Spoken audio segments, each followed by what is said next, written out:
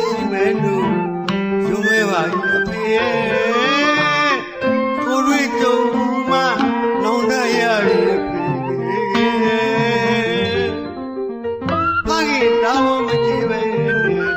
သားသမီးကိုဘာလို့ဝေးထားတယ်လဲဆိုတဲ့အောက်ပြန်လေးနဲ့အောက်ပြန်နေတဲ့စကားတွေရ ဆက်ဆက်နာတယ်အသေးထဲမှာတစ်ဆက်ဆက်ခါတယ်တန်လျာလေးပါဘောဖေကိုလည်းမပြည့်ရင်သူရတယ်အဖေ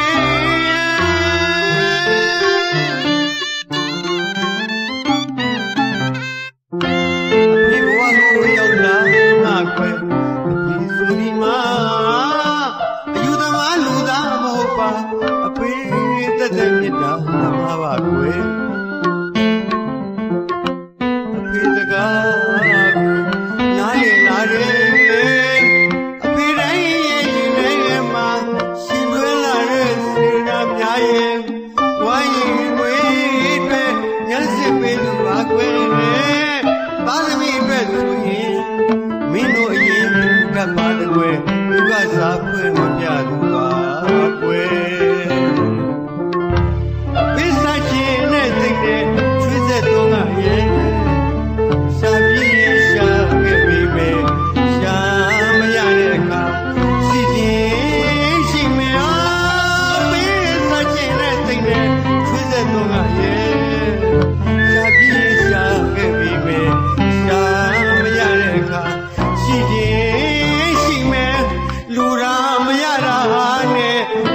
ဟာရင်တောင်းမကြည့်ပဲနဲ့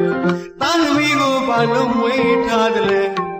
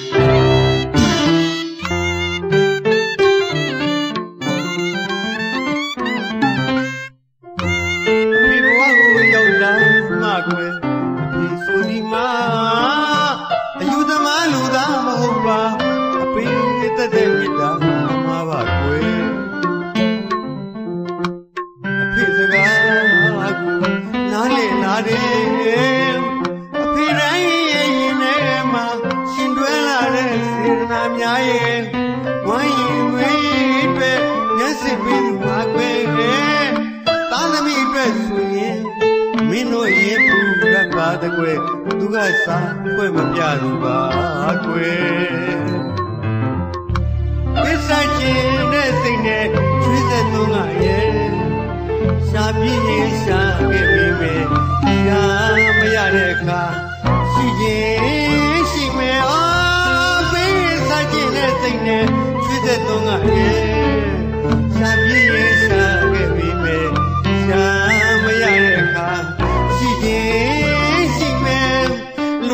yahane